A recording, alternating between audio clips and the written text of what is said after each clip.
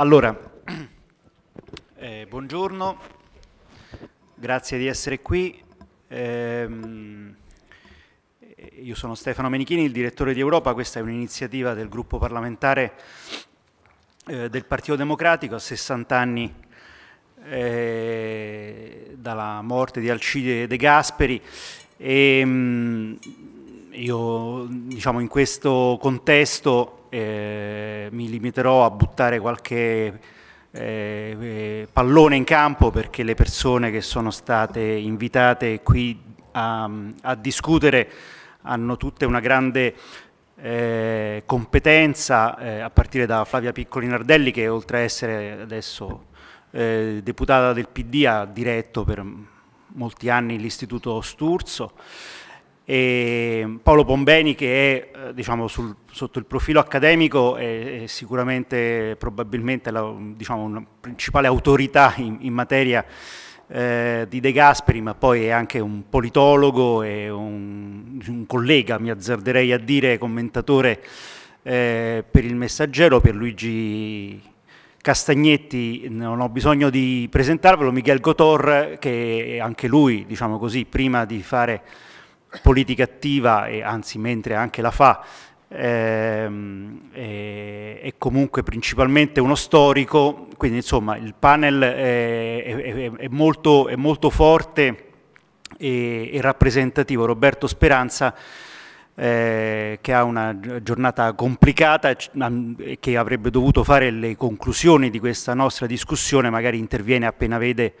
eh, diciamo il tempo, il tempo giusto. Um, io mh, eh, veramente soltanto in termini di, di, appunto, di, di spunto, di, eh, di, proposta, di discussione. Eh, De Gasperi è stato negli, anche negli ultimi anni, ma insomma in tutto l'arco, eh, dopo la sua scomparsa, spesso eh, riproposto alla discussione pubblica eh, in, in, termini corretti, diciamo dal punto di vista storiografico e politico e qualche volta in termini anche molto forzati, eh, questo è soprattutto quello che è accaduto negli ultimi vent'anni, eh, su tantissimi possibili punti di eh, rivendicazione della sua eredità, eh, sui temi della contrapposizione del dopoguerra, eh, eccetera, eccetera. Eh, però indubbiamente la sua figura eh, più spesso e correttamente viene eh, ricordata come legata alla grandissima stagione della costruzione dell'unità europea eh, nel dopoguerra. Eh, quello che diciamo, è, è, stato, penso, nella vulgata eh, poi raccontato come una epoca eh, felice e che magari adesso un po' pigramente potremmo eh, invece accostare a una stagione di crisi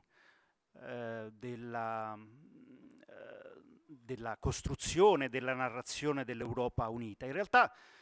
quelli che conoscono più da vicino, ecco Miguel, quelli che conoscono più da vicino eh, questa storia, e questo mi sembra il punto interessante da cui potremmo partire, eh, sanno che eh, anche, forse soprattutto ai tempi di De Gasperi, la costruzione europea è stata un durissimo conflitto politico, eh, molto aspro, eh, con dei termini anche che potremmo, andandoli a rivedere, forse stamattina lo faremo, potremmo, diciamo, in cui potremmo anche rintracciare molti elementi di grande attualità. Tanto fu un conflitto politico che, che, che De Gasperi lo ha perso, nel senso che eh, alla, diciamo, accanto e dopo eh, diciamo, tutta quanta la fase della, della costruzione della CECA, della CE, eccetera, sul punto per lui nodale eh, della comunità europea di difesa doveva, intorno alla quale doveva costru costruirsi poi il, il, diciamo così, doveva essere il, il, nocciolo intorno a cui si costruiva l'unità politica eh, che era la vera posta in palio fin da allora del processo europeista eh, come sappiamo è, è, è, rimasto non incompiuto, è rimasto troncato da una sconfitta politica. Ora, in questi giorni, eh, in cui ci sembra di avere di fronte un dato disastroso del, dello scontro eh, politico a livello continentale e anche italiano intorno ai temi dell'unità e alle prospettive dell'unità politica dell'Euro dell'Europa, forse non è inutile andare a rivedere i termini di, quei, di quel conflitto e forse questo non dico che ci solleva o che sdrammatizza l'attualità, però ci ricorda che non c'è mai nulla che è stato dato per acquisito una volta per sempre, che non ci sono epoche auree, eh, che la crisi e, la, e, lo, e, lo, scontro politico sono una costante eh, di questa vicenda e questo forse ci dà degli strumenti di conoscenza, di consapevolezza e degli strumenti anche di lotta politica come è necessario che sia in questi giorni di campagna elettorale e nella prospettiva dei prossimi mesi in cui l'Italia avrà eh, diciamo, nel contesto europeo eh, un ruolo particolarmente importante. Eh, io eh, questa palla innanzitutto la passerei a Paolo Bombeni. come appunto ha giustamente detto il direttore Menichini, non esistono uh, momenti aurei, però certamente il momento uh, che ha vissuto De Gasperi in, in, in, questa fase specifica, perché poi la vita di De Gasperi, come sapete, è molto lunga, De Gasperi è nato nel 1881, quindi aveva, pass era passato proprio fisicamente attraverso la storia d'Europa. Credo che questo sia un dato importante che spesse volte viene parzialmente sottovalutato o, o ridotto, come possiamo dire, a un aspetto folcloristico, ma pensate, questo è un uomo che comincia come suddito, suddito senso ma parte dell'impero asburgico, eh, è parlamentare a Vienna, è parlamentare a Vienna durante il dramma della, della guerra, per quel tanto che il Parlamento ha potuto funzionare, soprattutto nell'ultima parte, quindi te, è testimone della dissoluzione di quello che era stato a livello europeo l'ultimo grande impero multietnico, gli altri imperi multietnici, la Russia e eh, l'impero, ottomano, eh, non sono due imperi europei ovviamente, avevano problematiche un, un, un pelo diverse. Quindi l'impero asburgico era un impero, fra virgolette, europeo, nel senso che eh, si era illuso e per molti anni aveva anche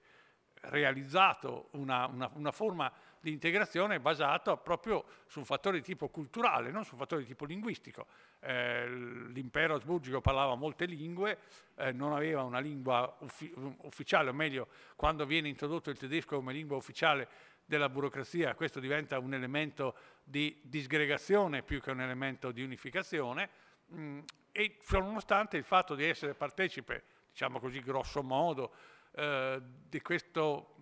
ambito culturale che si era sviluppato in Europa fra il eh, XIV e XVIII secolo eh, sembrava renderlo adatto a eh, sopravvivere nonostante questa forma diciamo così multietnica piuttosto complicata. Poi De Gasperi ha vissuto, come, come sapete tutti, eh, l'inserzione nello Stato nazionale italiano, che non era uno Stato eh, multietnico, ma che aveva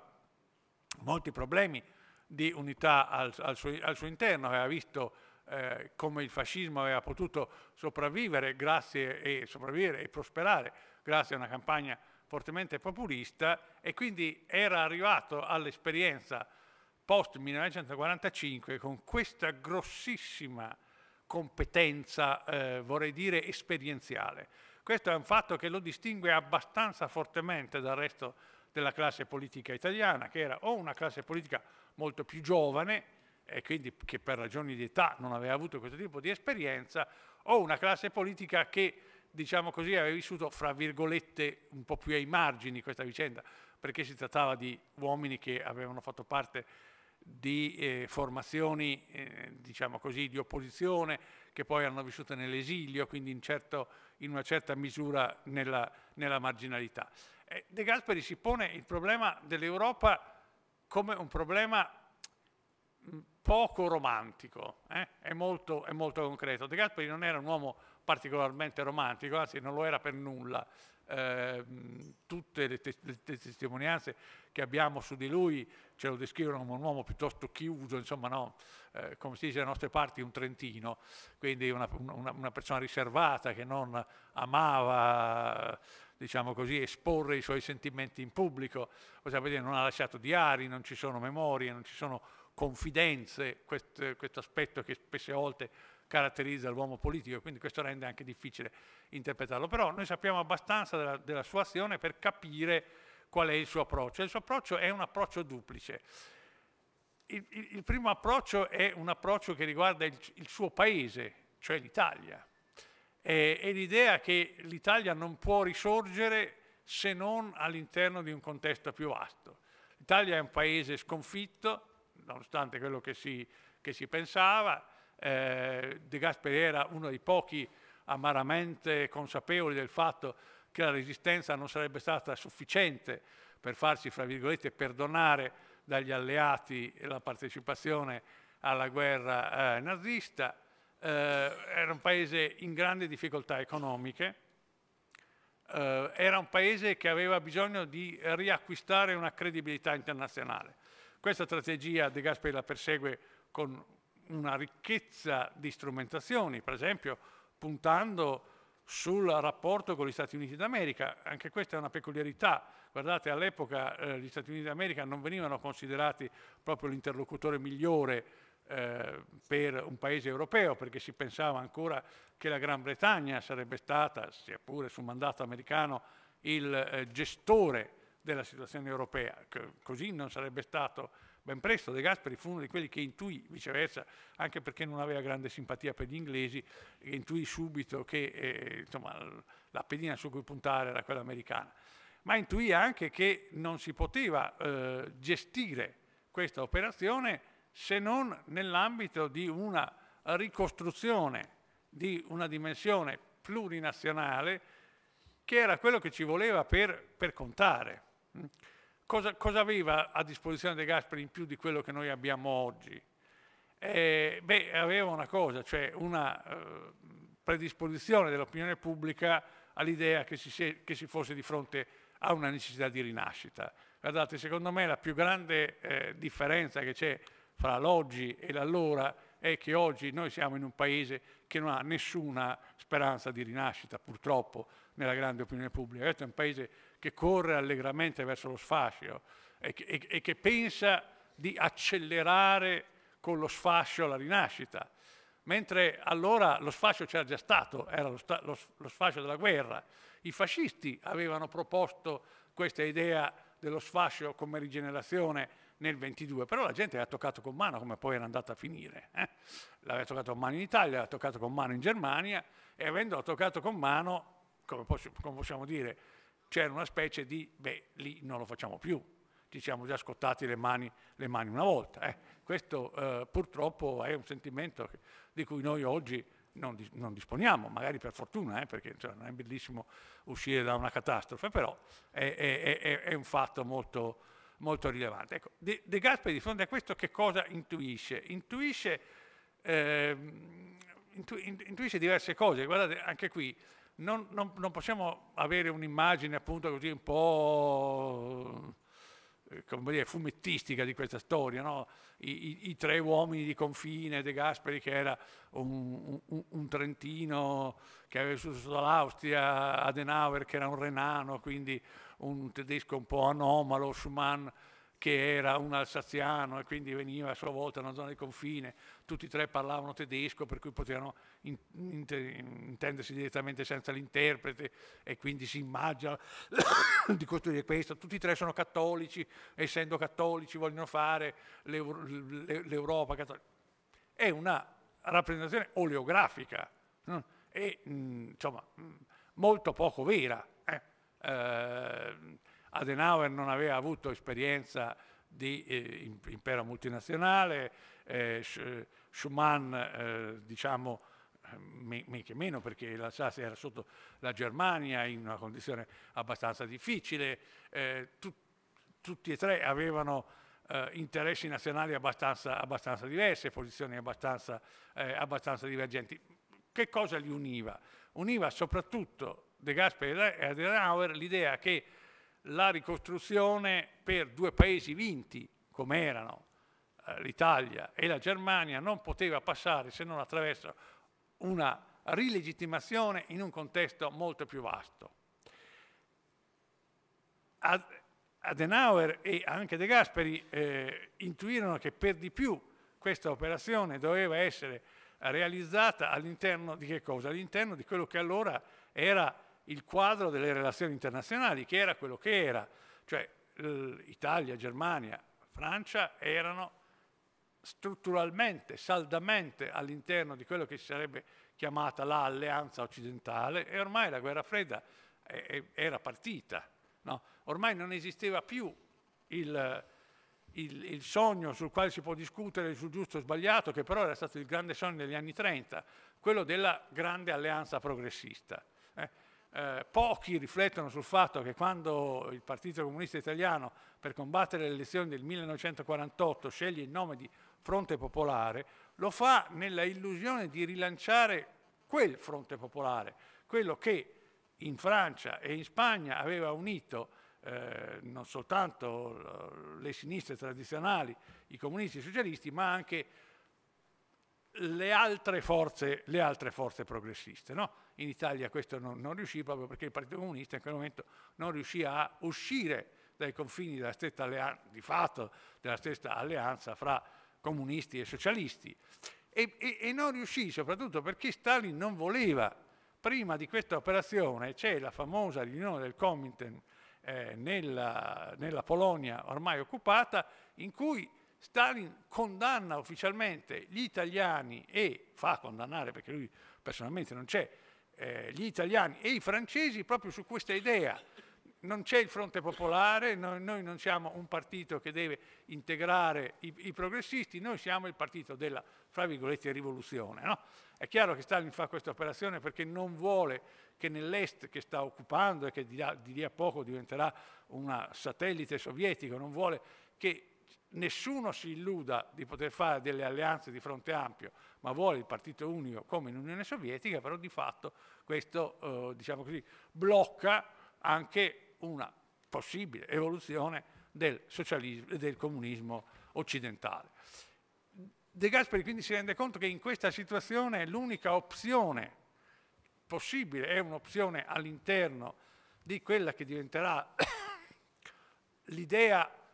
atlantico-occidentale, che oggi a distanza di anni può essere molto messa in discussione, rivista, puntualizzata, eccetera, eccetera, ma che in quel momento è, è l'unica strada possibile, perché l'altra strada che gli propongono, anche all'interno del suo stesso partito, le, le, le sue sinistre interne, il neutralismo, eh, viene considerata una ipotesi non percorribile perché ridurrebbe l'Italia, forse nel migliore dei casi, a una specie di piccola Svizzera. Eh, ma ben di più, e secondo me in questo De Gasperi che era un uomo politico molto ra raffinato nelle analisi, aveva capito che questo aveva aperto la via che cosa? alla possibilità di manovre per ridare fiato alla destra da parte ovviamente di, di, di, quelle forze che non tolleravano l'idea che nel campo occidentale ci potessero essere delle, delle deviazioni. E noi stiamo dimenticando questo aspetto. Eh? Alle elezioni del 48 la destra raccoglie il 5% dei voti. Voi dite, eh, capirà il 5% dei voti. Beh, nel 48 il 5% dei voti era tantissimo, eh? cioè, dire, era, era, una destra ex fascista e ex, come dire, insomma, pesantemente compromessa col vecchio, col vecchio regime. Adesso gli, gli, archivi stanno aprendo, si sta vedendo, ci sono gli stessi uomini della destra continuano a bussare alle porte degli alleati dicendo guardate siamo noi, potreste fare conto su di noi invece che sugli altri. No? Ecco, quindi questo è, una, um, questo è un dato forte da tenere presente, cioè l'Europa per De Gasperi non è soltanto il problema ideale di ricostruire eh, l'impero di Carlo Magno, no? Cioè, poi, tutti i politici usano un po' di retorica e questo va benissimo, cioè, ma è un'idea molto più, molto più concreta, è il problema di dire noi come facciamo a ricostruire un sistema in cui la democrazia possa avere delle, basi, delle, solide basi, perché questo non è un continente con delle basi democratiche solidissime. Hm? Gasperi non è un uomo che ha una fiducia, come possiamo dire, infinita nella tenuta delle, dei sentimenti popolari, quindi bisogna ancorarli in qualche modo. Per, per ancorarli bisogna ancorarli anche sul livello internazionale. Per fare questa operazione bisogna entrare all'interno di uno schema, dentro questo schema bisogna fare un, dire, i conti con la realtà e una parte dei conti con la realtà sarà il problema del coinvolgere la Francia in questa operazione. Naturalmente, guardate, da questo punto di vista eh, sarà un piccolo disastro perché la CED, eh, cioè la Comunità Europea di Difesa, fallisce perché fondamentalmente i francesi non la fanno passare, eh? non è che fallisce per chissà quali altre, che, chissà quali altre ragioni, però in quel momento ci si rendeva tutti conto che era molto difficile creare questa operazione se non accettando che cosa? Accettando che il paese che aveva più di tutti mosso il problema della egemonia in Europa, fra virgolette, cioè la Francia, perché la Gran Bretagna aveva sempre detto l'Europa è un'altra, cosa, noi siamo un, un, impero marittimo, vasto, sì, a, a noi basta che l'Europa non, non, ci faccia problema, poi insomma stia un po' a casa sua, no? Eh, diciamo, l'anti-europeismo britannico non è una cosa che è stata inventata ieri mattina, è una cosa che ha radici molt, molt, molto lunghe in, un sentimento di estraneità rispetto a quello che loro chiamano il continente. Ecco. E quindi De Gasperi si muove si muove su questa linea, che è una linea difficile e che è una linea eh, sulla quale certamente, scusate, c'è un problema per lui il problema è quello di trovare una classe dirigente che gli venga dietro su questa cosa, che gli venga dietro con la stessa forma di lucidità, perché naturalmente è chiaro, poi voglio dire, soprattutto quelli che comanda, a quelli che comandano i seguaci non mancano mai, si, si spassano per la strada, però eh, il problema è avere della gente che ti viene dietro con la testa, non ti viene dietro con l'opportunismo. E, ehm, e quindi e questo mancò un po' De Gasperi, che, che, era appunto, come giustamente ha scritto sua figlia, un uomo solo, no? un uomo che mh, aveva poche, eh, dire, poche, volontà di coltivare relazioni. Eh? Eh, molti anni fa, quando fa, feci la ricerca su De Gasperi Trentino, trovai una lettera di un uh, dirigente dei giovani universitari al vescovo di Trento, eh, in cui rispondeva al fatto che il vescovo di Trento si lamentava che De Gasperi avesse fatto, non mi ricordo quale, quale operazione, e, e, questo gli scriveva, lei, ma lei lo sa, eh, eccellenza, come è fatto l'Alcide? L'Alcide non parla con nessuno, fa quello che vuole lui, non, non condivide, diremo oggi, no? E questa era un po' l'idea, insomma, eh, questo era un po' il personaggio. Eh. Però eh, no, no, non c'è dubbio che questa è stata una, una grande intuizione. D'altro canto, che cosa dimostra questa vicenda? E qui finisco perché insomma lascio eh, ovviamente il, il, giusto spazio agli altri. Cosa dimostra questa vicenda? Questa vicenda dimostra l'intuizione dell'uomo politico che scommette sul tempo lungo. Io non credo che De Gasperi fosse, appunto, anzi sono sicuro che De Gasperi non era una, una, una persona che si illudeva che eh, l'unità europea sarebbe fatta nel giro di pochi anni, avremmo risolto tutto e via. No? Ma aveva questa che,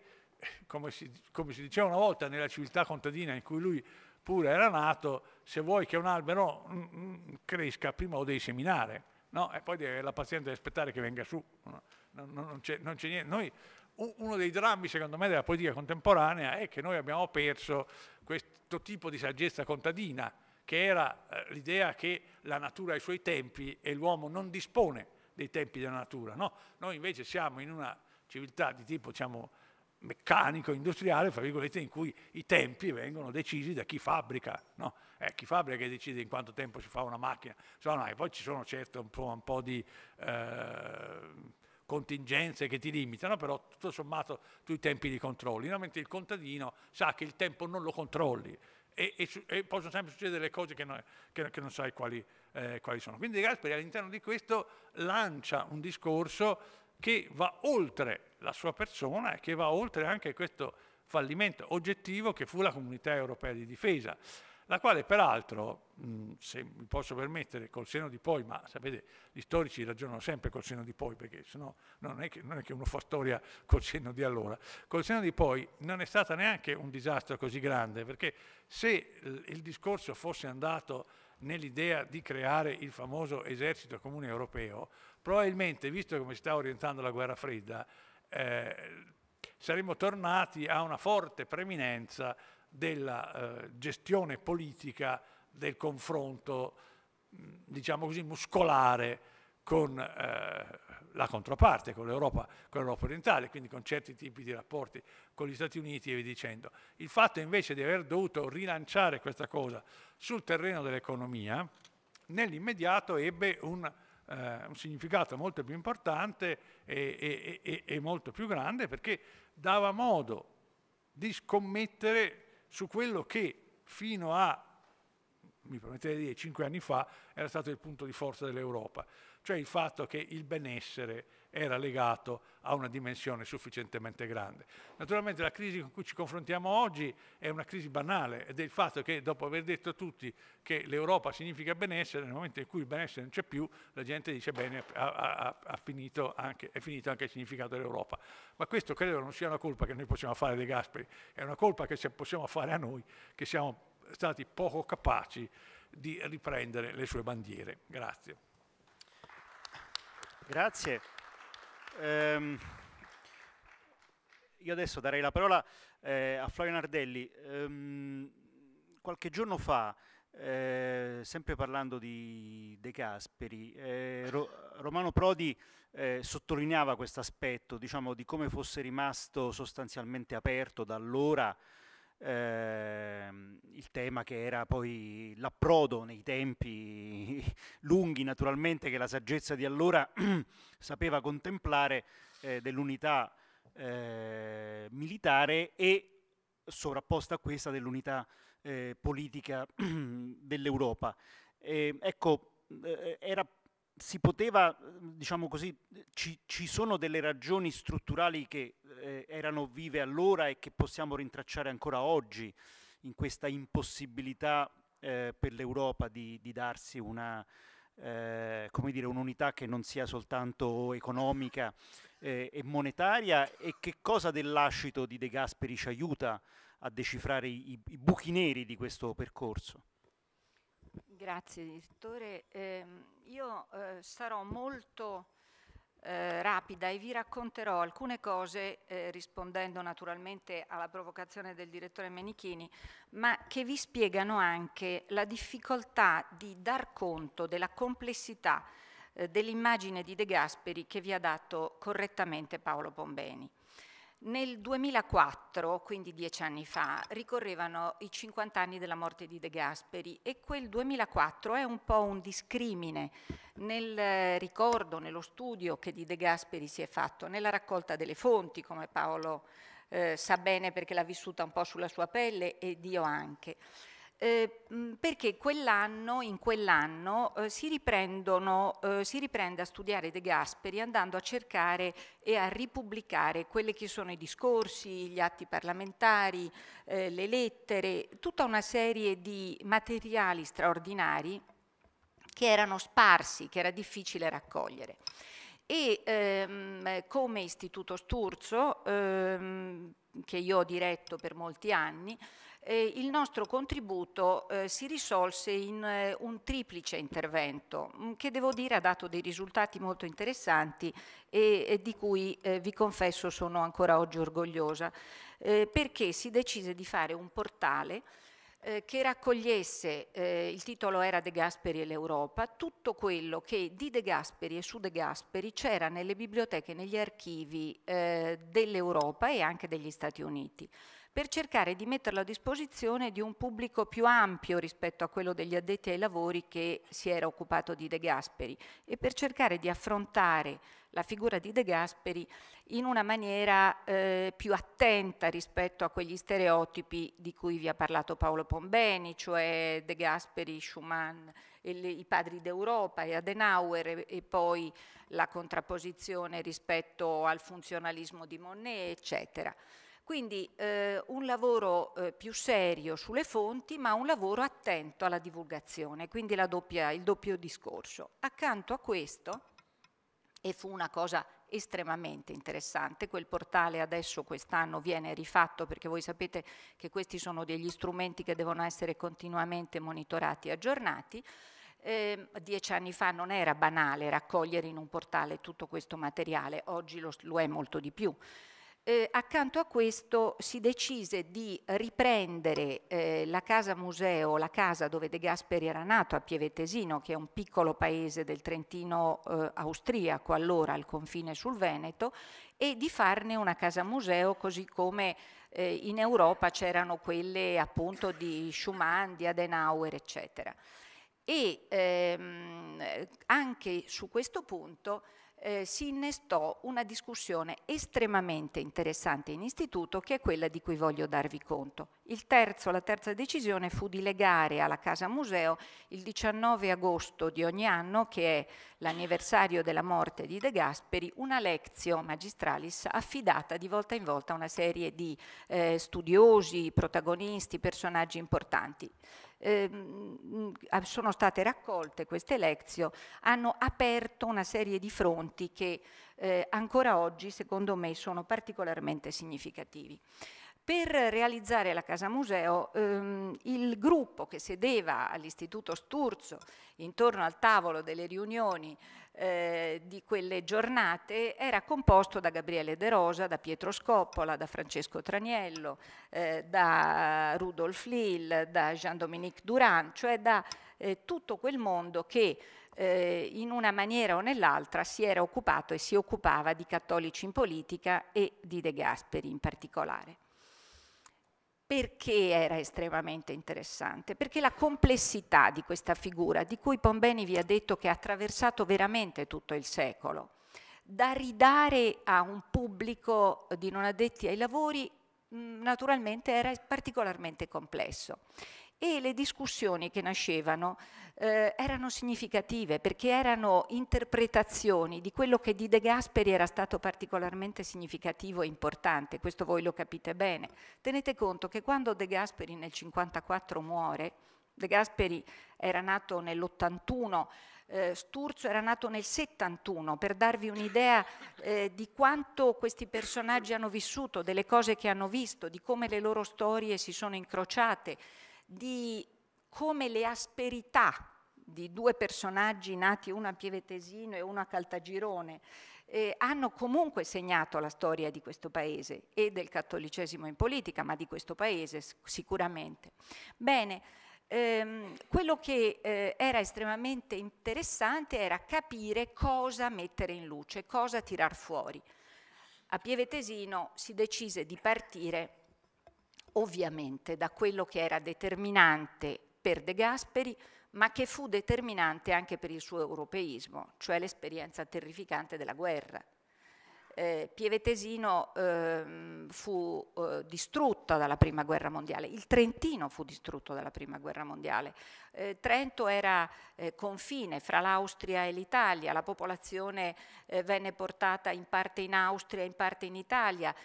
uscirono da quella guerra mh, mm, con una povertà spaventosa, con condizioni di vita terrificanti e De Gasperi questo lo sentiva sulla sua pelle. Quindi nel momento in cui eh, negli anni 50 eh, propone l'Europa e vede l'Europa come uno sbocco fondamentale, lo vede prima di tutto come l'eliminazione di quello che è il rischio della guerra. Questo secondo me noi non possiamo dimenticarcelo mai. Questo resta sullo sfondo e è fondamentale. E eh, tenete conto che De Gasperi parla per la prima guerra mondiale mondiale, tenete conto che lui è parlamentare del Parlamento austriaco in quel momento e lui va nei campi profughi, gli italiani eh, che sono eh, mandati allontanati dal confine, vengono alloggiati in quelle che sono case di baracche, sono le, le, le i villaggi di baracche che poi diventeranno tristemente famosi perché nella seconda guerra mondiale saranno il nucleo centrale dei campi di concentramento, ma il modello è quello delle case di legno. Ci sono delle foto straordinarie di quel periodo e ci sono straordinarie le note di De Gasperi che va e racconta le condizioni di vita dei suoi concittadini. Eh, quindi eh, vi dicevo, eh, quello che è eh, interessantissimo per lui è come lui parla in quel momento dell'ora di Dio,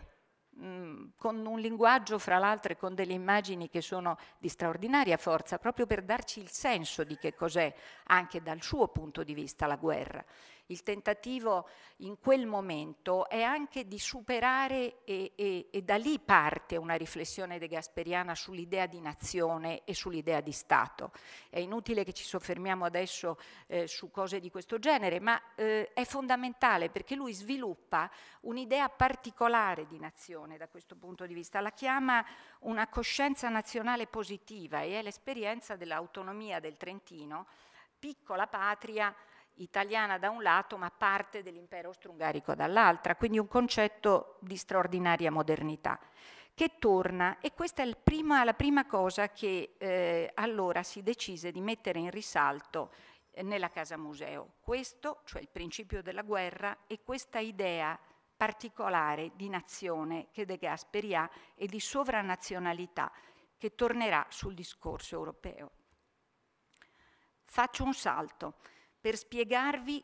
come partendo da qui si arriva a un'ultima considerazione che io considero essenziale perché è il discorso eh, che lui tiene all'Assemblea del Consiglio d'Europa del dicembre 1951 e che mi consente di rispondere a quello che mi ha chiesto il direttore Menichini. Perché De Gasperi dice, se possiamo dare fin d'ora questa visione costruttiva e luminosa dell'Europa, evidentemente, potremo attirare le masse, ispirare loro il necessario slancio ideale e soprattutto conquistare gli spiriti delle giovani generazioni europee la costruzione degli strumenti e dei mezzi tecnici, le soluzioni amministrative sono senza dubbio necessarie e noi dobbiamo essere grati a coloro che se ne assumono il compito. Queste costruzioni formano l'armatura, rappresentano ciò che lo scheletro rappresenta per il corpo umano, ma non corriamo il rischio che si decompongano se un soffio vitale non vi penetri per vivificarle oggi stesso?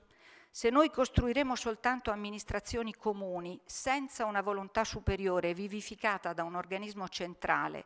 nel quale le volontà nazionali si incontrino, si precisino e si animino, animino in una sintesi superiore, noi rischieremo che questa attività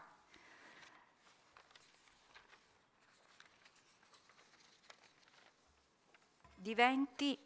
appaia nel confronto della vitalità nazionale particolare senza calore e senza vita ideale. Potrebbe anche apparire a un certo momento una sovrastruttura superflua e forse anche oppressiva.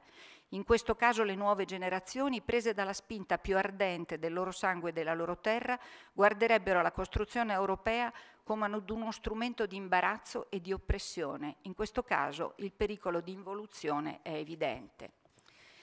C'era dunque già no? La consapevolezza di che cos'era, di quali erano i rischi e di qual era quello che bisognava in realtà tenere vivo. Eh, De Gasperi ce l'ha questo, ce l'ha, gli viene da eh, una serie di eh, percorsi di spessore che eh, si porta dietro, gli viene da, eh, dall'idea del personalismo cristiano di Maritain, gli viene da eh, da un'idea per cui la comunità europea e l'Europa deve essere animata da uno spirito di cittadinanza, da un'idea di cittadinanza che secondo lui, non secondo lui, ma che noi non siamo riusciti a mettere a punto, gli viene da eh, un'altra serie di riflessioni che secondo me sono estremamente importanti,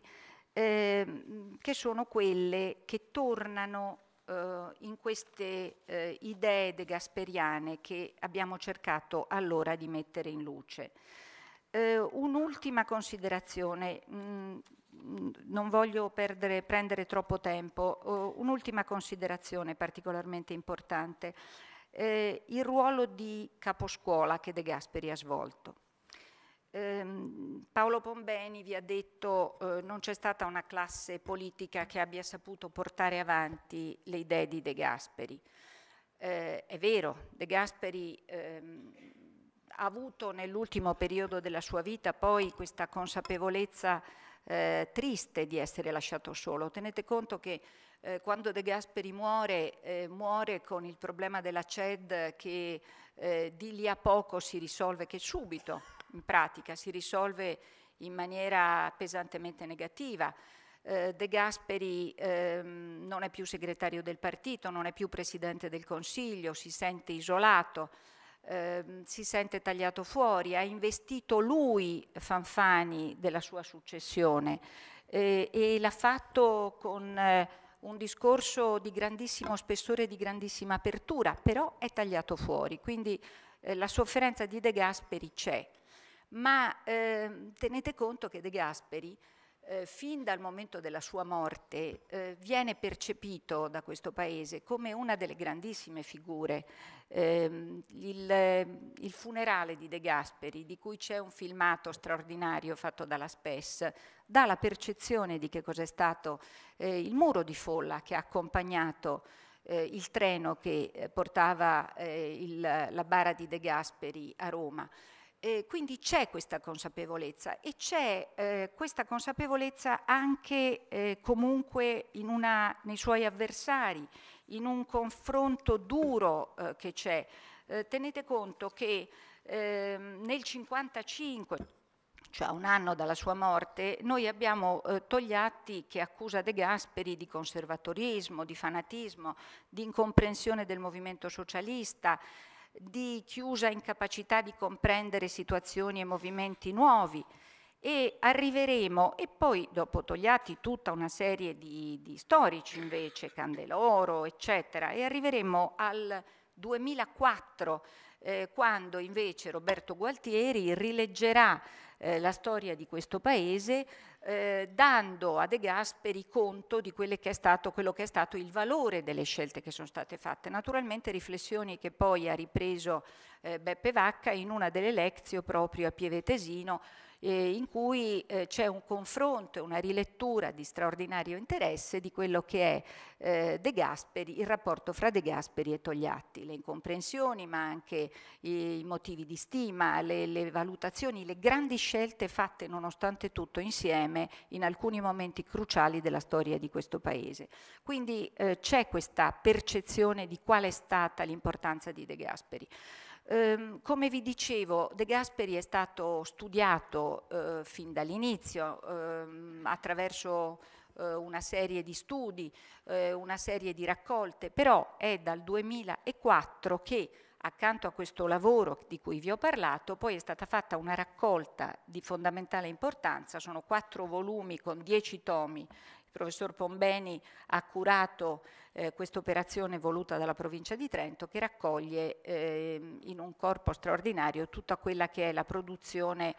eh, dei discorsi dei gasperiani, eh, delle riflessioni dei gasperiane. Rimane fuori ancora tutto il pezzo dell'epistolario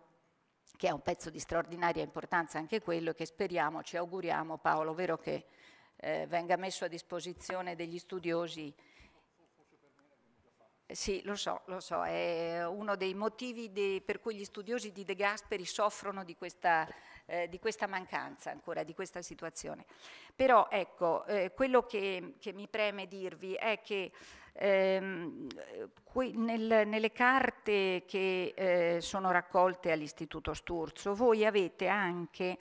eh, il, la dimostrazione o la testimonianza di come queste idee di De Gasperi non siano andate perdute, perché nelle carte Gonella, nelle carte eh, di Piero Malvestiti, nelle carte di Scelba, nelle carte di tutto quel mondo che eh, a De Gasperi faceva riferimento,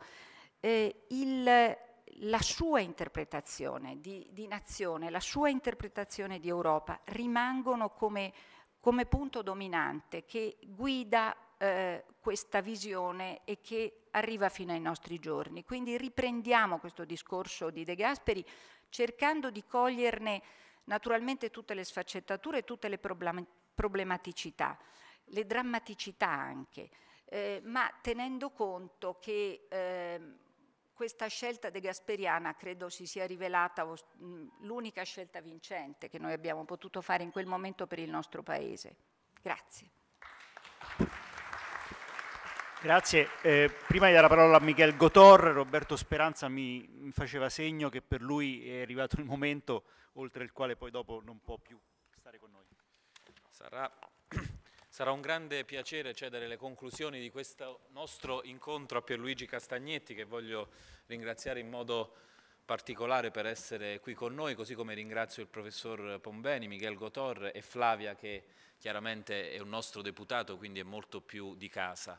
Eh, io voglio spiegare in qualche istante il senso di questa operazione che stiamo facendo. Noi siamo impegnati in questo eh, anno 2014 a ricordare e provare a rileggere a molti anni di distanza eh, tre personalità di grandissimo profilo che hanno dato tanto al nostro Paese, che sono poi stati un po' anche simbolici di un'epoca politica e che sono tutti da ricordare in questo 2014 per un anniversario. Siamo stati a Rovigo poche settimane fa a ricordare Giacomo Matteotti, siamo nel 2014 a 90 anni dalla tragico assassinio fascista e dentro la lettura di quel personaggio chiaramente c'è un pezzo della nostra identità politica, di quella battaglia antifascista durante, all'inizio del, del, ventennio. Eh, abbiamo iniziato a ricordare la figura di Enrico Berlinguer, di cui ricadono i 30 anni dalla morte, lo abbiamo fatto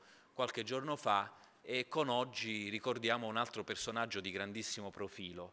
Eh, io penso che non siano ricordi di maniera, non siano ricordi retorici, ma sia il tentativo del più grande gruppo parlamentare del Paese di provare a mettere fino in fondo radici in una storia di cui siamo in qualche modo orgogliosi e di cui sentiamo un'appartenenza. E lo facciamo a partire appunto dai nostri numeri. Noi abbiamo qui 293 deputati, 181 alla prima legislatura. E io penso che proprio un gruppo fatto così, cioè un gruppo con tanto cambiamento, tanta innovazione, tantissimi giovani eh, sotto i 35 anni, ma anche tantissime donne per la prima volta in questa legislatura, abbia ancora di più bisogno di provare a costruire un contatto con questo nostro passato. E voglio provare a dare un punto di vista perché sarebbe eh, difficile diciamo, voler leggere in profondità personalità di questo livello e sono, ho ascoltato le due relazioni, sono convinto che anche le altre due saranno della stessa qualità. Eh, c'è un punto vero che secondo me tiene insieme queste tre personalità che vi ho prima citato e che eh, significa, io penso, la lezione più profonda per una generazione più giovane, e cioè la capacità da parte di queste figure di costruire in tempi diversi un avanzamento democratico nel nostro Paese. E io penso che la questione di attualità di queste figure politiche può essere declinata proprio a partire da qui, in un momento difficile in cui io ritengo che il grande tema sul tavolo sia esattamente quello della democrazia. In tempi diversi Matteotti, De Gasperi e eh, Berlinguer hanno rafforzato la democrazia nel nostro Paese. Lo si diceva prima nelle relazioni che abbiamo ascoltato, in modo particolare all'uscita della seconda guerra mondiale,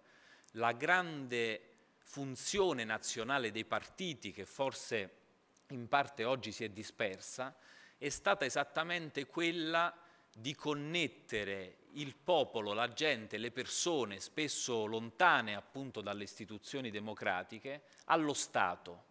se c'è una grande funzione che io riconosco ai grandi partiti di massa, la democrazia cristiana, il Partito Comunista e il Partito Socialista in quella fase, io penso che sia stata esattamente questa, costruire una connessione profonda tra cittadini e istituzioni democratiche, in un momento in cui questo non era scontato.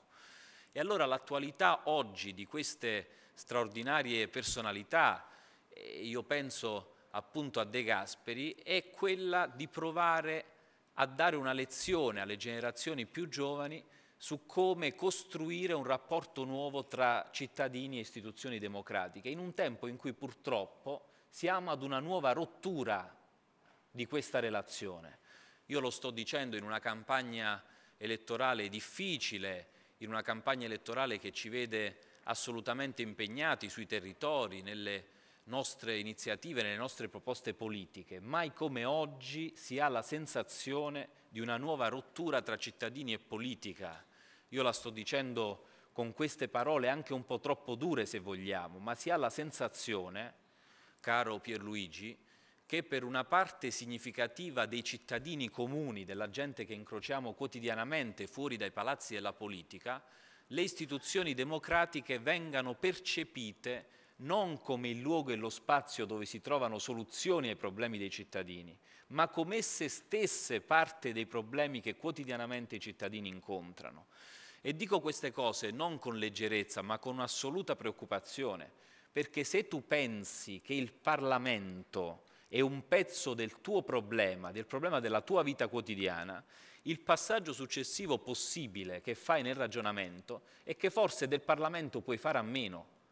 Io penso che questo è il passaggio storico-politico a cui noi siamo ed è rispetto a questo che ricordare le straordinarie personalità di un tempo che non c'è più, di un tempo passato, non è solo apprezzabile opera storiografica, ma è anche diciamo, una lettura di analisi rispetto ad un'azione politica da mettere in campo.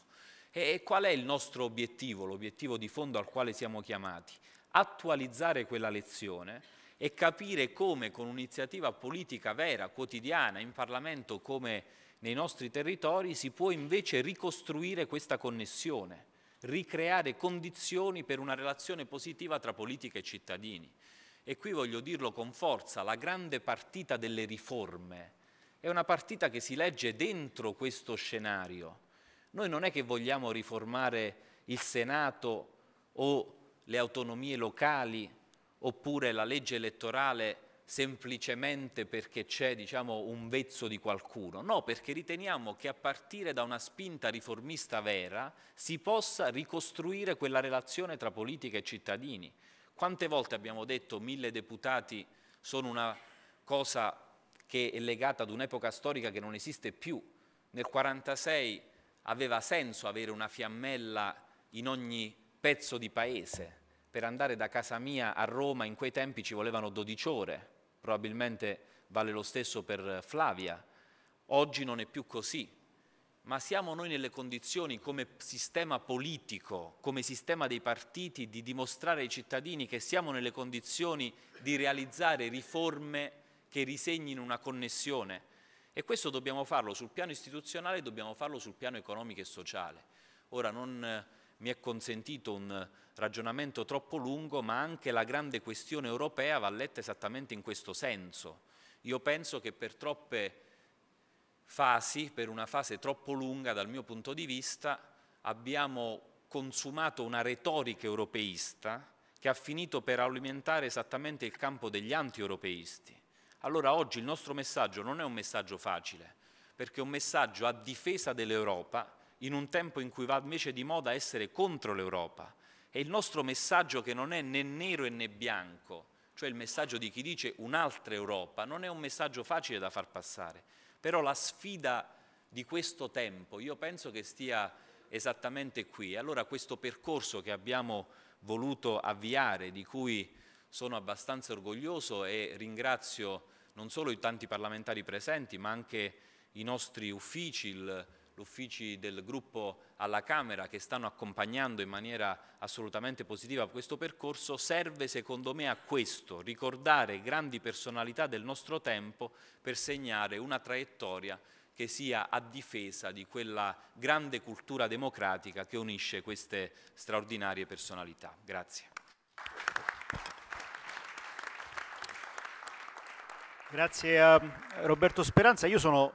sono sicuro che mm, Michel Gotora diciamo, ha tratto dalle cose che sono state dette fino adesso molti spunti, glielo volevo però offrire un ennesimo. Um, andando a riguardare i termini, perché parlavamo di conflitti politici in cui molto forti, nel, diciamo, eh, che accompagnavano eh, le fasi storiche di cui stiamo parlando, andando a guardare i termini di quei conflitti, in particolare degli scontro politico che si svolgeva in Italia. Certo, in quel momento segnato in maniera eh, determinante, indelebile dalla, dalla, guerra fredda, dalla contrapposizione, eh, dall'espulsione delle sinistre dal governo, eccetera, eccetera. Eh, però per quanto riguarda il, il tema europeo, ehm, eh, eh, eh, si ritrovano delle, dei termini del, dello scontro e del dibattito sorprendentemente costanti nel tempo, perché anche allora eh, il disegno De Gasperiano veniva contestato in Italia dalle sinistre allora come un'operazione sostanzialmente contro l'interesse nazionale e eh, spinta da interessi estranei a quelli dell'Italia, che allora appunto erano eh, quelli della guerra fredda e dell'allineamento europeo, in, eh, diciamo così, al, al, disegno americano. E per certi aspetti questo, eh, questa, que, questo, questo tipo di contestazione poi dopo nel corso del tempo si è riprodotta addirittura eh, tu sei uno storico in particolare eh, diciamo, attento e specializzato su, su, su, su, quegli anni, fino addirittura negli anni 70 ancora, nella discussione e nella polemica per esempio nell'ingresso dell'Italia nel sistema monetario europeo. Di nuovo, eh, allora il Partito Comunista, le sinistre, dopo un, dopo un percorso che era stato fatto eh, nel frattempo eh, per carità straordinario, eh, tornavano a contestare quella scelta politica eh, sostanzialmente con lo stesso argomento, cioè andiamo a fare andiamo a, a entrare in un, in, un, in un, percorso che, che, non è nel nostro interesse e che fa il gioco di poteri eh, extranazionali. E, e quindi abbiamo un po' una condanna, mi pare, che è quella di eh, trovare rispetto alla, alla, al, al progetto dell'Europa e al rafforzamento del progetto dell'Europa politica eh, sempre una stessa contestazione, diciamo così, che si, ha, che si, pretende di ancorarsi a interessi nazionali e in qualche modo eh, quello che ne, che ne, fuoriesce è che le scelte che dobbiamo fare sono sempre fatte dico, esprimo una frase che in questo periodo va molto di moda, perché ce lo chiede l'Europa. Eh, cioè per, sempre dobbiamo farlo perché l'Italia si deve in qualche maniera costringere e legare le mani da sé eh, perché da sola non riesce a fare le scelte necessarie. Mi colpisce questa costante e non vorrei che fosse una forzatura mia, diciamo, di, di cronista politico diciamo, dell'epoca contemporanea, volevo sentire anche cosa pensavi tu anche da questo punto di vista. Sì, grazie, buongiorno a tutti e, e, e vi ringrazio per questo, per questo invito. E, sia la domanda del direttore eh, Menichini sia l'intervento di, uh, di, Speranza eh, mi hanno così, stimolato una prima, una prima riflessione. E, mh, certamente oggi l'anti-europeismo è, è alimentato da una crisi economica che sta assumendo tratti strutturali e invita, invita eh, al rafforzamento eh, di, forze, di forze antisistema che scelgono quindi nell'anti-europeismo una battaglia eh, popolare purtroppo e dal consenso rapido. E Speranza eh, sottolineava che sia una sfida tipica del nostro tempo l'obiettivo di provare a riconnettere cittadini a istituzioni e società politica. E da questo punto di vista sono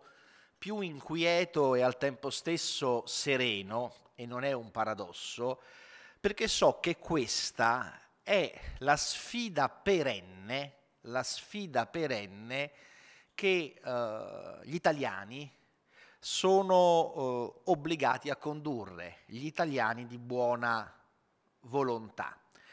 Se io devo infatti indicare un carattere originario della storia italiana, e guardate, mi riferisco anche a una storia italiana preunitaria. Bene, è proprio nella presenza di purtroppo nuclei ristretti,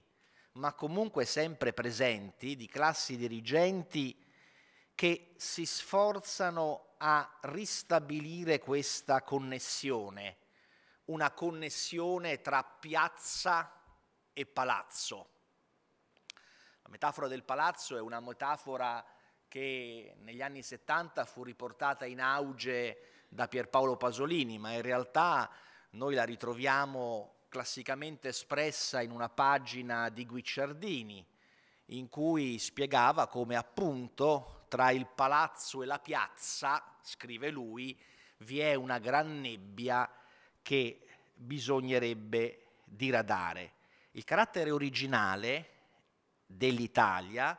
o uno dei caratteri originali, è proprio in una contestazione strutturale in cui pulsioni di carattere popolare si incontrano con lucidi disegni delle classi dirigenti ehm, a disarticolare la politica e a disarticolare il rapporto appunto che c'è tra società e istituzioni. E oggi noi, credo con un errore prospettico, siamo portati a ritenere che in Italia sia esistita un'età d'oro dei partiti. E guardate che non è così. E se è stato così è un'esperienza veramente piccola, qualche anno, negli anni 60, che coincide tra l'altro, e non è un caso, con il più grande periodo di espansione economica e civile del nostro paese. Ma altrimenti, sia prima che sia dopo, beh, abbiamo un'egemonia sostanziale di ciò che oggi chiamiamo antipolitica, che Gramsci ad esempio chiamava apoliticismo, una tendenza delle classi popolari italiane all'apoliticismo che si sposava con una tendenza delle classi dirigenti alla consorteria e al farsi cricca. E appunto abbiamo come elementi originari l'antipolitica, lo spirito di fazione e forme che si sono articolate in modo diverso, ma che costituiscono un discorso continuativo di antiparlamentarismo e di extraparlamentarismo, che certamente accompagnano la storia d'Italia dalle sue origini, dal, 1800, dal 1861.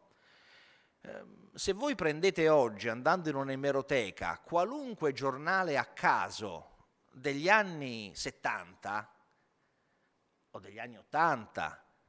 o precedente, beh, ma voi troverete che il discorso egemone dominante, lo dico con cognizione di causa perché l'ho fatto, ecco, beh, è incentrato sulla corruzione, è incentrato sulle clientele, è incentrato sul ruolo degenerativo delle correnti nei partiti e, e hai, diciamo, che forse oggi è un po' sfumato, ma comunque è stato presente, certamente è stato presente nel ventennio che abbiamo alle spalle, è una dialettica che ha poco di una democrazia normale e cioè non una dialettica tra avversari, ma una dialettica di sistema tra amici e nemici, dove l'altro da te, come dire, ha una diversità che si vorrebbe anche antropologica o comunque di ordine, di ordine, eh, di ordine eh, morale. Eh, questo lo dico anche per incoraggiarci, eh? Oggi certamente assistiamo, io credo soprattutto in forza e per ragione della crisi economica e di un affanno che le democrazie rappresentative stanno vivendo, un affanno, guardate, che è anche dovuto a uno straordinario privilegio, che ormai sta diventando addirittura millenario, cioè noi stiamo vivendo il più lungo periodo di pace nella democrazia che eh, l'Italia ha avuto modo, ha avuto, gli italiani hanno avuto in sorte di vivere. Allora naturalmente la pace eh, aumenta la eh, possibilità della dialettica democratica, ma ma anche, ma anche può indirettamente o anche direttamente eh, comunicare un'idea di affanno, di lentezza, di stanchezza delle procedure. Insomma, ci si dimentica dell'aspetto più importante, che la democrazia è bella perché consente la massima critica al proprio interno e, e poi si inizia a rimpiangere sempre solo e soltanto quando non c'è più, quando evapora. Eh, per quanto riguarda, per quanto riguarda diciamo, l'oggetto, l'oggetto dell'intervento, del, dell'intervento che, che, ho preparato, a me è sembrato, eh, è sembrato che fosse utile, ne ho parlato, ne ho parlato con, con Castagnetti quando appunto mi ha invitato a partecipare a questo convegno, eh, che fosse utile mh, mm, mh, raccontare o mettere in evidenza la presenza di De Gasperi, l'ombra o il fantasma di De Gasperi nelle riflessioni che Aldo Moro fece nel 78 durante la sua prigionia nel memoriale. Um, il memoriale è un testo che è giunto a noi in, uh, in, in, formati, in formati strani, diversi, censurati, mutili, ma ecco, in ogni caso stiamo parlando di circa 250 fogli in cui Moro un po' rispondendo alle domande dei suoi sequestratori e un po' da un certo momento in poi eh, affidando un proprio testamento eh, morale, civile del proprio percorso politico, ecco, si sofferma, si sofferma in diversi punti su De Gasperi. Eh, secondo me con l'obiettivo politico di lasciare traccia di un'idea, e cioè che il vero erede di De Gasperi, di quel De Gasperi sconfitto, perché poi questo è stato uh, un altro tratto comune della vita politica italiana che si ha grande consenso popolare e come dire, si diventa autorità morale però come dire, la precondizione è aver subito una sconfitta politica o un, o, o un isolamento politico. Moro sembra dirci il vero erede di uh, De Gasperi sono stato io. Sono stato io con il mio centrosinistra negli anni 60 eh, sono stato io che diversamente da Fanfani, da un Fanfani che Moro descrive tra virgolette come un piccolo De Gaulle, affascinato e preso da, eh, da uh, programmi e progetti presidenzialisti, ecco invece il vero erede sono stato io nella misura in cui mi sono sostituito mi sono sostituito a Fanfani e ho, e ho proseguito eh, l'ispirazione della sua politica. E nel suo memoriale eh, Moro eh, si sofferma sul periodo della Costituente, eh, sottolinea il rapporto di straordinario fair play, scrive fair play, che ci fu con Togliatti, con La Pira, con Basso, con Marchesi, con Dossetti, un periodo fattivo, collaborativo, in cui aveva imparato, lui allora giovane tra i professorini, la pratica dell'ascolto e il senso del limite. E riconosce, riconosce che di quella stagione Proprio De Gasperi scrive è stato un leader indiscusso. In una stagione in cui la successione tra gruppi dirigenti avviene con facilità, nell'ambito della stessa matrice cattolica e senza accanite lotte di potere. In un periodo in cui la DC, la DC che sta nascendo,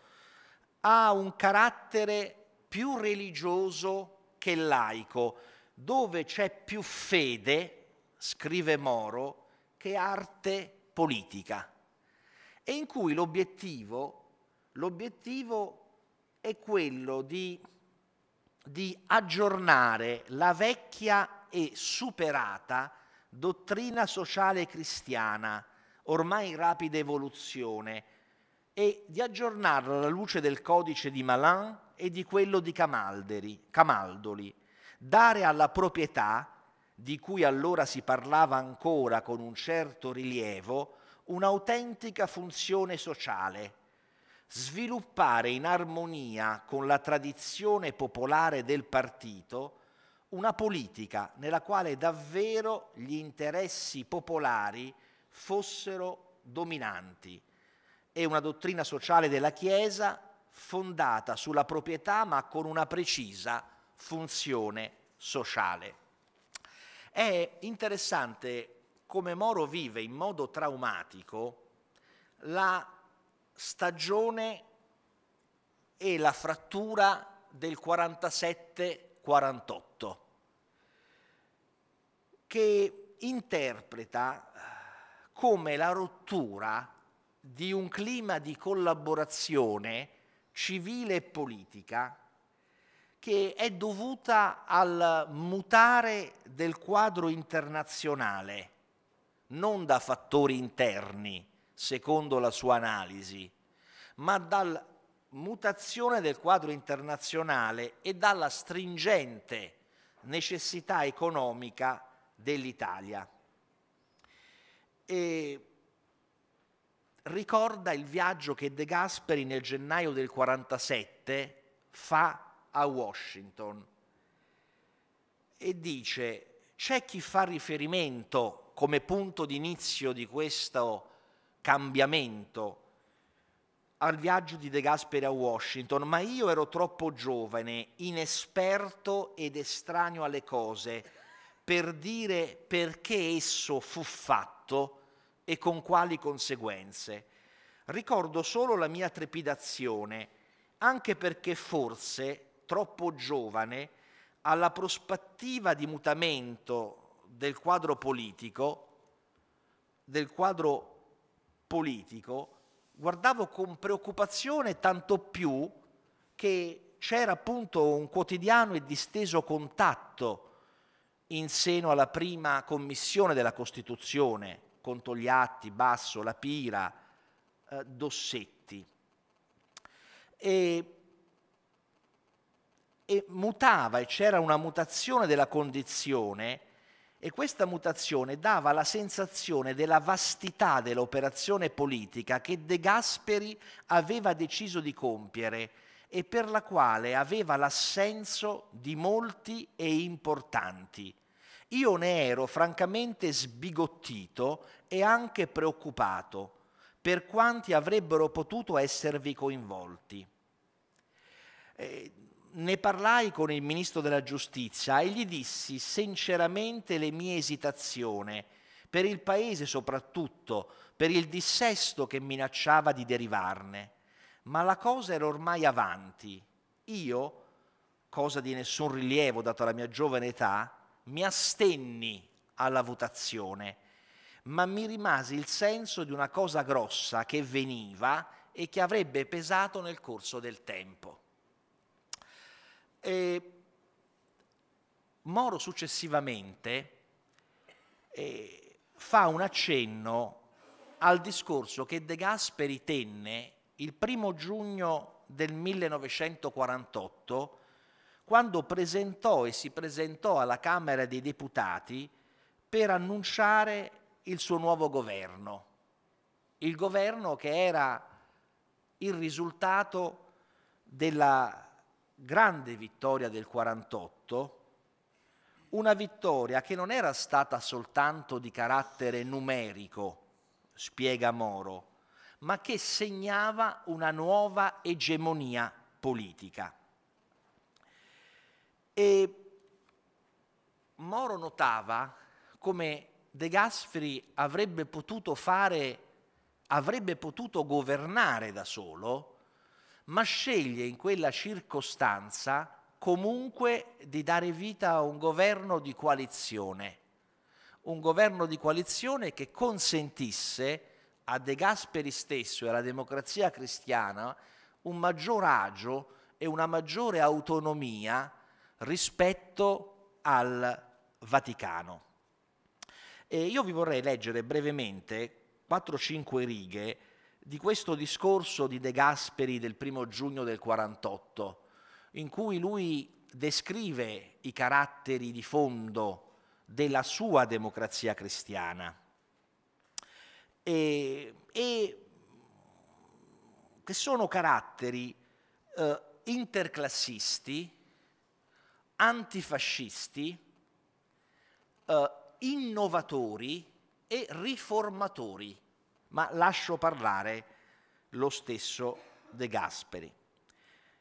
La democrazia cristiana si presenta così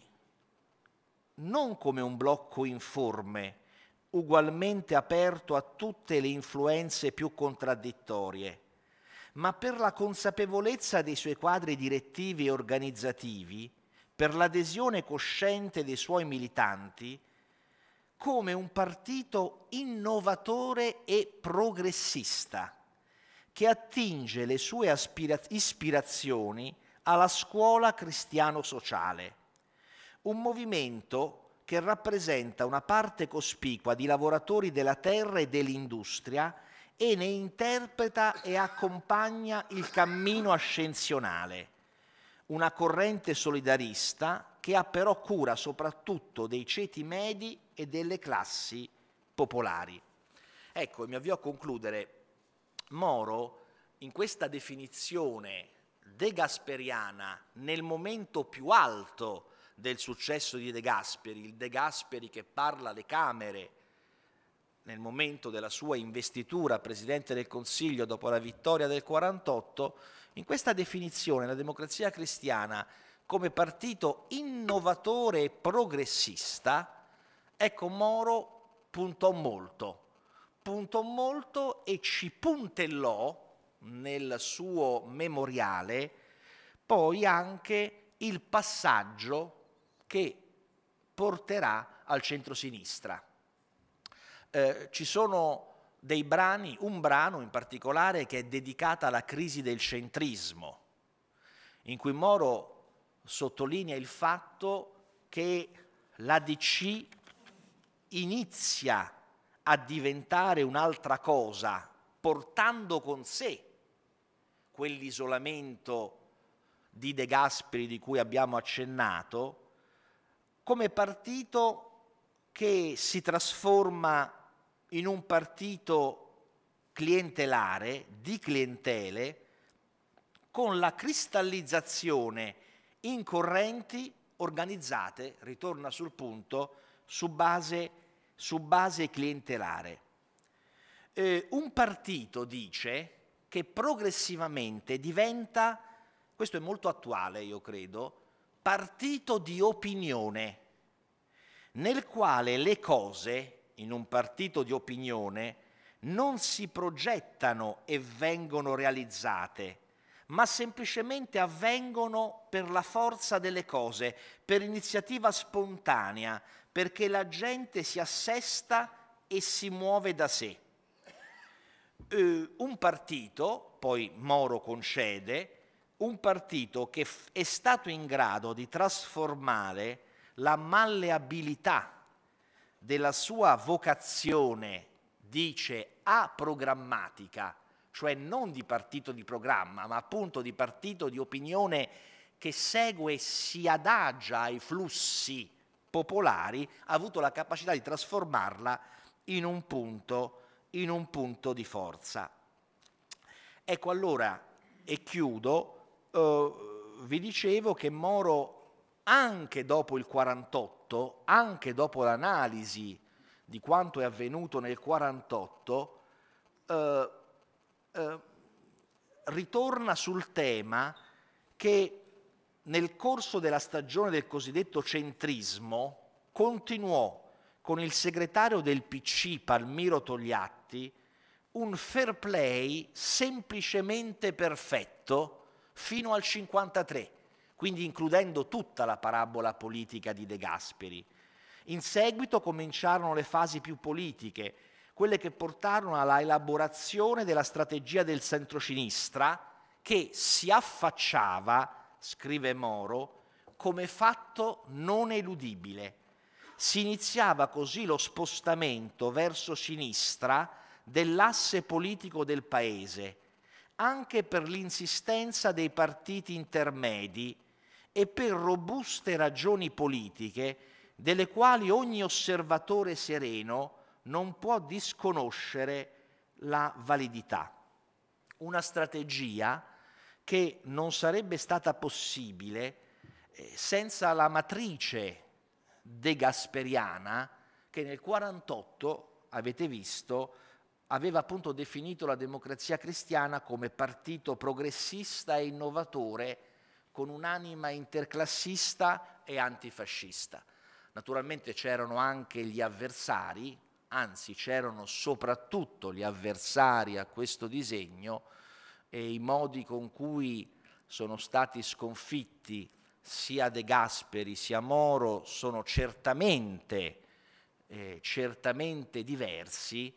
ma ecco che pur sottolineando questa diversità si ha la sensazione che il problema che hanno dovuto affrontare entrambi in tempi diversi è stata proprio l'opposizione, l'opposizione di quegli avversari che, che non volevano, non volevano in diversi momenti una democrazia cristiana partito popolare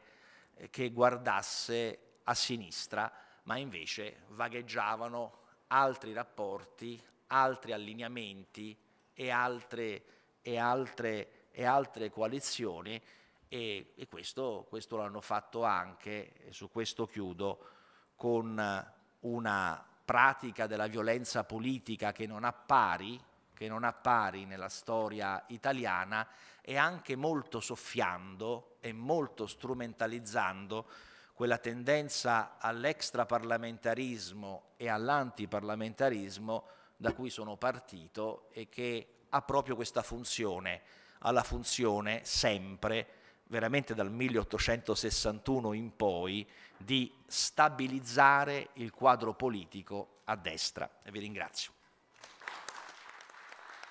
Eh, grazie Gotorbe, mi sembra che per Pierluigi Castagnetti e, sua, e le sue conclusioni ci sia molta, eh, molta materia. Prego. Io credo, sì, stamattina è emerso parecchio della um, strategia de Gasperiana, eh, è molto interessante anche quest'ultima lettura che ha fatto Miguel Gottor eh, attraverso il memoriale, eh, io eh, penso che eh, Moro ha ragione potesse eh, ritenersi l'erede di De Gasperi per, eh, eh, per tanti motivi. E, tenta di alleggerire anche la sua condivisione, se ho capito bene, in quel passaggio nella scelta delle scelte internazionali di De Gasperi, anche se lui stato, era sottosegretario agli esteri, in quel periodo, e, ma soprattutto io penso che eh, questo tentativo di dire io per la mia giovane età, insomma, c'ero o non c'ero, eh, fosse determinato dalle circostanze in cui queste dichiarazioni vengono fatte, perché in effetti se penso alle fasi successive, insomma, la rottura con Dossetti avviene proprio in quel periodo, proprio sulle scelte eh, di politica internazionale. Ma veniamo al tema eh, di oggi, insomma, perché secondo me aveva, ha avuto senso e quindi io sono grato al gruppo del Partito Democratico di avere promosso questa iniziativa. Ha avuto senso parlare eh, in questo momento storico di De Gasperi e l'Europa, perché vedete, io ho l'impressione che per tante ragioni eh, il merito dell'avvio del processo di integrazione economica in un primo tempo e politica ancora in corso dell'Europa abbia un patronage molto importante in Italia. Eh, L'ambasciatore belga in Italia definì in quel frangente De Gasperi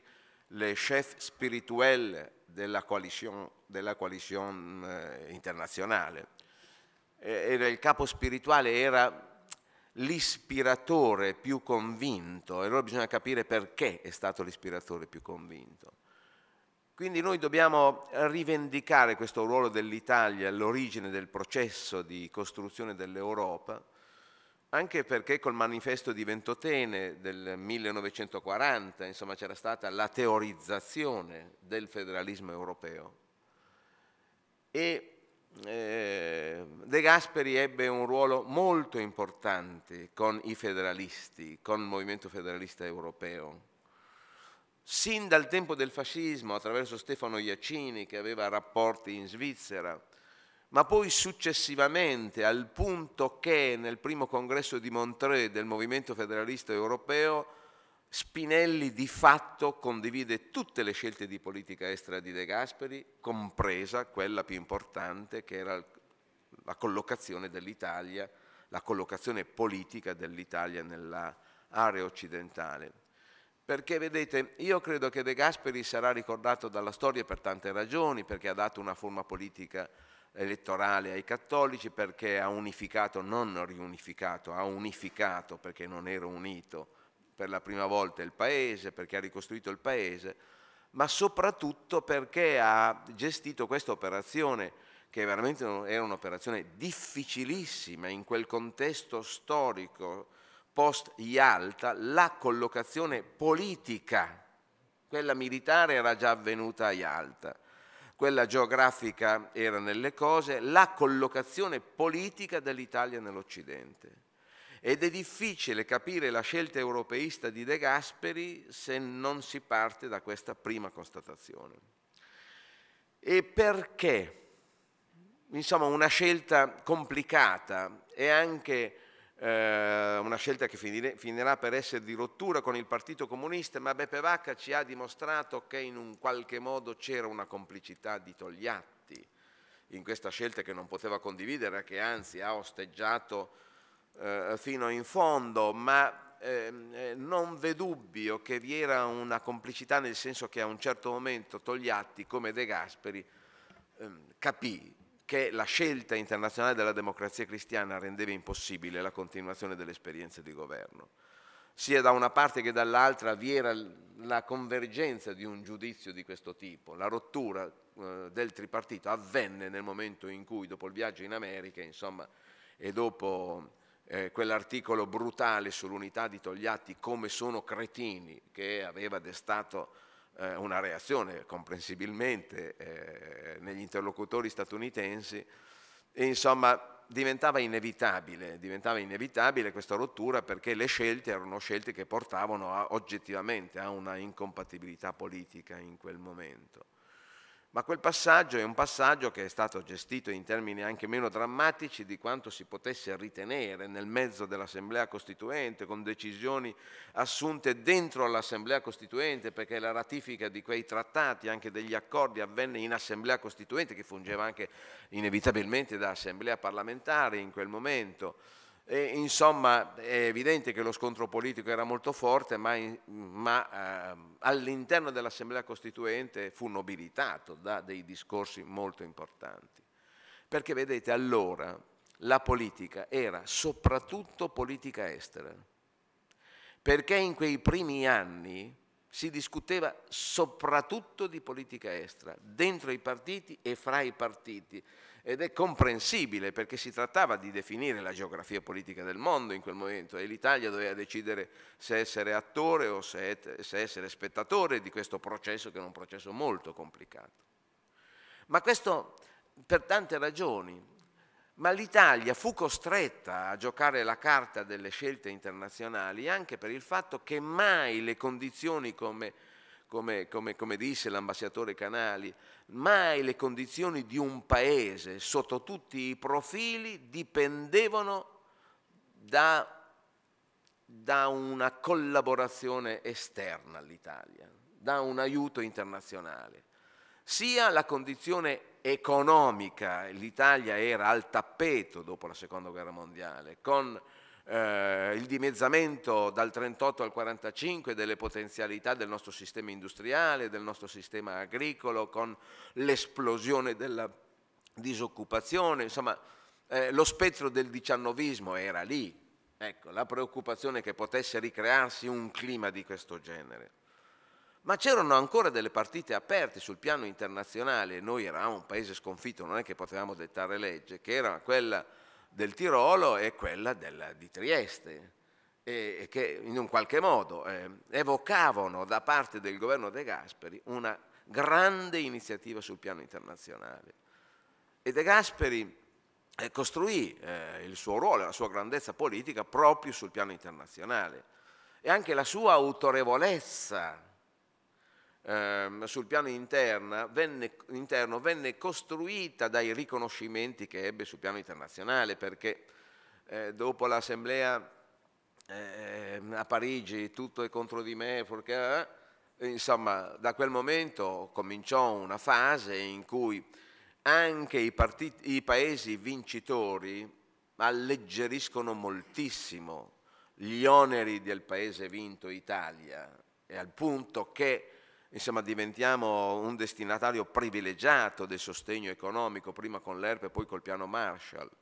Fummo il primo paese che aderì al piano Marshall e entrarono, entrò l'Italia in quel momento nel comitato esecutivo dell'OECE dove c'erano solo i paesi vincitori, più l'Italia all'inizio. Quindi questi furono successi straordinari che in un qualche modo avevano invertito la condizione di isolamento in cui si trovava il paese è eh, del tutto evidente che la scelta europeista quindi eh, dell'Italia va, va uh, inserita in questo contesto. E anche il realismo di Spinelli, che era uomo di sinistra, non era sicuramente uomo eh, vicino alla democrazia cristiana, non solo condivideva la scelta che a, questo, a quel punto era federalista di De Gasperi, ehm, De Gasperi partì eh, all'inizio con una posizione che non era immediatamente favorevole all'alleanza con l'Occidente. Fu tra i sostenitori della neutralità armata, anche De Gasperi, cioè pensava che un paese vinto come l'Italia, con la situazione interna che aveva eh, che aveva l'Italia, non potesse fare delle scelte così così de decisive, così definitive e parlò di mh, mm, eh, eh, neutralità armata che dire, voleva dire è il massimo di collaborazione che noi possiamo dare eh, agli occidentali, di più non possiamo fare. Poi la situazione evolse in una misura tale per cui l'Italia comincia ad avere dei successi sul piano delle relazioni internazionali, aiuti che vengono utilizzati per la ricostruzione del paese eh, e induce questo processo, persino stavo dicendo, eh, uno come Altiero Spinelli a prendere atto molto realisticamente che nelle condizioni date, ecco, De Gasperi non poteva fare altrimenti, per cui eh, Spinelli eh, comincia a mettere a disposizione sul piano dell'elaborazione culturale tutte le sue idee a De Gasperi e al rappresentante italiano, ad esempio, all'interno dell'Assemblea della Ceca, e a sostenere la strategia di De Gasperi dentro l'Assemblea della Ceca per la costruzione della CED, anche nei momenti più difficili, per cui Spinelli riconoscerà a De Gasperi di aver fatto quello che nelle condizioni date era possibile dare, fare. Allora, questo eh, aiutò moltissimo ecco, De Gasperi, questa che era una copertura morale, politica nel momento in cui non poteva avere quello ufficialmente della sinistra, nel senso del Partito Comunista e del Partito Socialista, aveva sul cammino europeo questa copertura che era una copertura molto importante. E poi bisogna capire eh, appunto che De Gasperi in quel momento aveva il bisogno il gruppo ha giustamente eh, stampato il discorso al Senato ai giovani, l'Europa e ai giovani di De Gasperi, che è una pietra miliare della sua eh, cultura eh, europeista, in cui sostiene la tesi, sì, voi mi accusate di che questo è un mito, l'Europa è un mito. Certo, è un mito. Scelgo questo mito. Che cosa volete proporre ai giovani? Il mito del nazionalismo? No, questo mito che supera la dimensione nazionale. Perché eh, Ede Gasperi ehm, arriverà a parlare di un investimento fideistico sull'Europa, un mito fideistico, e sappiamo che cosa vuol dire la fede. E sottolineava questo aspetto perché aveva in un qualche modo da combattere un nemico e da combattere un competitore. Il nemico era la cultura nazionalistica, cioè noi uscivamo dall'esperienza del fascismo, non potevamo consentire che si ricreassero le condizioni ecco, di, ehm, eh, di, una cultura nazionalistica che, che, che pervade questo, il dibattito politico italiano. Bisognava liberare l'Italia dalla tentazione del nazionalismo. Noi ne avevamo bisogno più di ogni altro paese. E siccome quello era un mito negativo, bisognava costruire un mito positivo. E il mito positivo era quello della sovranazionalità, non delle relazioni fra governi, ma di una sovranità sovranazionale. sovranazionale. E la cosa che colpisce a leggere eh, i libri, eh, anche quelli recenti, quello di Acanfora eh, in particolare, è la coralità del gruppo dirigente democristiano nella convinzione che questa strada dovesse essere percorsa. Noi siamo soliti ritenere che è una scelta eh, personale di De Gasperi. È vero che la gestione delle relazioni internazionali è fatta in prima persona da De Gasperi ed è fatta anche contro le resistenze interne di una parte della Chiesa e di una parte della democrazia cristiana. Le sinistre interne, quella gronchiana e quella dossettiana, che non erano certo d'accordo su questa impostazione, anche una parte del, del, del Vaticano. Però la sua abilità è stata quella di costruire un'adesione corale per cui e Campilli, e Iacini, e Igino Giordani, anche deputati insomma, che avevano un'autorevolezza morale ma non un grande peso politico, ma poi Taviani, Gonella, che avevano anche peso politico, parlassero tutti la stessa lingua e cioè era necessario superare la dimensione, dimensione nazionale e puntare a quella sovranazionale. Il mito dell'Europa era il mito della nuova patria europea e ci fu un'opera di pedagogizzazione dell'opinione pubblica per quanto si, possa, mm, mm, si potesse in, quelle, in, quei momenti pedagogizzare l'opinione pubblica, ma l'idea era quella di utilizzare tutte le strutture del periferiche del partito per convincere, per convincere non solo i militanti ma anche gli altri, che era veramente una speranza, una prospettiva di futuro, quella di eh, di, di, di, passare alla sovranazionalità, ecco la dimensione della sovranazionalità. Ma con questa operazione De Gasperi in un qualche modo si ricollega anche alle, eh, dire, alla cultura fondativa del, del, partito, del, vecchio partito popolare, insomma, no? perché Sturzo eh, nel 1936, nel libro che fece sulla guerra di Spagna, parlava già di federazione degli Stati Uniti d'Europa, quindi era una roba che e a un certo momento aderisce all'idea sturziana e in, in, questo caso c'è un momento di polemica con Spinelli eh, perché eh, Spinelli era in quel momento eh, in polemica con Adriano Olivetti perché pensava a un processo federativo che partisse dal basso i comuni messi insieme fanno le province, le province messe insieme fanno le regioni, le regioni messe insieme fanno lo Stato nazionale, gli Stati nazionali messi insieme fanno la sovranità europea. Mentre invece Spinelli pensava che questo fosse un percorso troppo lungo, eh, mentre invece De Gasperi eh, aderisse a quest'idea. Ma soprattutto con questa operazione De Gasperi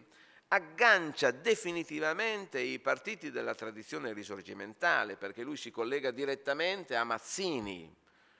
quindi fa, ehm, recupera il risorgimento attraverso Mazzini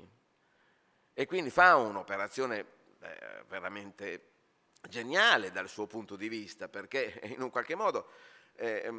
getta le basi culturali di quell'unica coalizione di governo che sul piano interno si riusciva a realizzare in quel momento. E quindi questo è il merito, eh, secondo me, importante di eh, De Gasperi. Avere e poi, vabbè, insomma, andrebbe per le lunghe, ma adesso è ora di finire. Voglio finire con una valutazione su, qua è stato eh, definito sconfitto. Sì, non è riuscito nella CED. Io sono anche molto intrigato dall'osservazione eh, di Paolo Pombeni a questo riguardo che considero tutt'altro che banale, molto molto seria. Ma io non direi, non lo definirei sconfitto, non per, per, per, perché De Gasperi per molti versi è stato sconfitto, eh, insomma adesso è vero che ha scelto lui, eh, Flavia ha scelto lui il successore Fanfani, ma insomma eh, aveva capito che era la fine, insomma, no? erano passati solo sette anni, non è che ne fossero passati 70, ecco, e aveva ricostruito l'Italia, messo insieme, eh, avviato il processo europeo, insomma capisce che bisogna fare le valigie, insomma, no? È al congresso di Napoli e quindi eh, si è autorotamato, ecco, per usare un termine, prima di esserlo formalmente dalla nuova generazione, guardate che avevano poco più di 40 anni anche quelli lì, eh? E, insomma la storia si, si ripete spesso, insomma. Ma perché eh, eh, e quindi è vero che per molti versi è sconfitto, ma in questa idea eh, che lui ebbe, la sua ultima operazione, che è quella della CED, vedete, eh, io ho detto che eh, De Gasperi ha un ruolo importante nell'avvio della costruzione dell'integrazione europea. È vero che formalmente si comincia col piano Schumann, con la CECA, e De Gasperi in un qualche modo non era ancora pronto per portare l'Italia, eh? ecco, quindi all'inizio eh, era più trascinato. Poi a un certo momento, dopo la fine del governo Pleven, dopo le difficoltà di non c'era più Schumann eh, al Ministero degli Esteri, eccetera, lui capisce che deve prendere in mano il discorso. E la CED, da un certo punto di vista, se fosse riuscita, perché non è riuscita, era il capolavoro di De Gasperi perché l'articolo 38 dello statuto della CED, vedete, ha in nuce tutti i problemi e tutte le risposte, tutte le soluzioni, le chiavi di soluzione ai problemi che l'Europa avrebbe avuto. Anche lui capiva che la costruzione di un esercito europeo era difficile, era rischiosa, c'era addirittura un, un, deputato, un generale eh, che faceva il deputato della DC che, che, che, disse ma insomma come si fa a fare un esercito? Manca l'unità spirituale e il patriottismo europeo. Eh, un esercito come fa senza l'unità spirituale del continente e senza una fede patriottica, ecco, eh, un esercito europeo. E questa preoccupazione c'era. Vedete, l'accostamento con il presente e con l'euro serve perché noi sappiamo che quando si vuole dar vita a una sovranità sovranazionale, una sovranità sovranazionale, noi sappiamo che i simboli della sovranità sono la spada, cioè l'esercito, lo scudo, cioè la moneta, la bilancia, cioè la giustizia. Allora, loro partirono arditamente dalla spada però capivano che se non si fosse stati in quel momento anche un'integrazione politica, lasciare l'esercito, eventualmente così costituito, in mano ai generali, senza un governo politico alle spalle, non funzionava. Quello che si è capito di meno quando abbiamo ripreso il discorso eh, eh, della sovranità europea con l'euro, che non si poteva.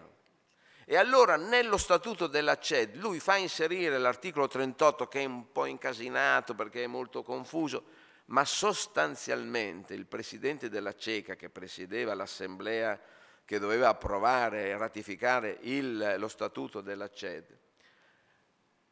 allarga l'invito all'assemblea a altri nove eh, componenti perché c'è da definire come dar vita al potere politico, subito.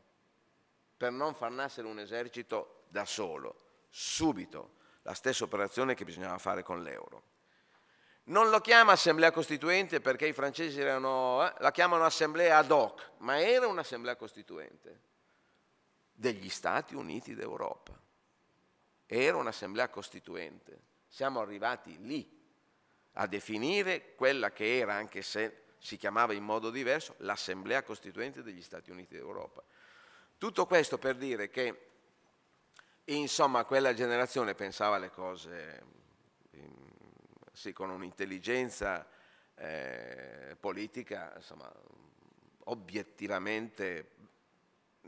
eccezionale, insomma, ecco. E non è stato sconfitto eh, De Gasperi da un certo punto di vista, nel senso che aveva visto tutto quello che occorreva. Lo è stato perché a partire dall'Assemblea nazionale e forse se fosse stato portato in ratifica anche nel Parlamento italiano sarebbe successa la stessa cosa, e De Gasperi capì che questo era il problema, che questo statuto della CED faceva fatica ad essere ratificato dai parlamenti nazionali perché era una cessione veramente grande di sovranità, quella militare, e scrisse cinque giorni prima di morire quella lettera eh, accorata a Fanfani in cui gli chiede di fare l'ultimo sforzo anche dopo il voto contrario dell'Assemblea nazionale francese per tentare di recuperare eh, eh, un'operazione che era l'operazione a cui lui si era dedicato negli ultimi anni totalmente. Ecco, in questo senso credo che abbia avuto un significato importante l'iniziativa, lo dico a Oriano Giovannelli che l'ha organizzata, una iniziativa del gruppo per ricordare come noi centriamo con l'origine del processo europeo. Grazie a tutti, arrivederci. Ciao, ciao.